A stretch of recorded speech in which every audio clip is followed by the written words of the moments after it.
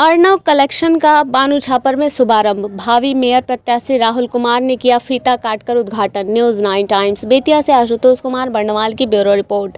Bettiah Banu Chhapar Sant Kabir road, Krishnanagar के सामने Arun complex में अर्णव कलेक्शन का भव्य शुभारंभ किया गया, जहाँ एक ही जगह महिलाओं से संबंधित साड़ियाँ, अन्य परिधान, कॉस्मेटिक, आर्टिफिशियल ज्वेलरी के साथ महिलाओं के लिए पार्लर की भी सुविधा है। मंगलवार को इस भव्य शोरूम का उद्घाटन भाजपा के युवा नेता सह निगम के भावी मेयर प्रत्याशी राहुल कुमार और उनकी पत्नी सुरभि घई ने संयुक्त रूप से फीता काट कर किया।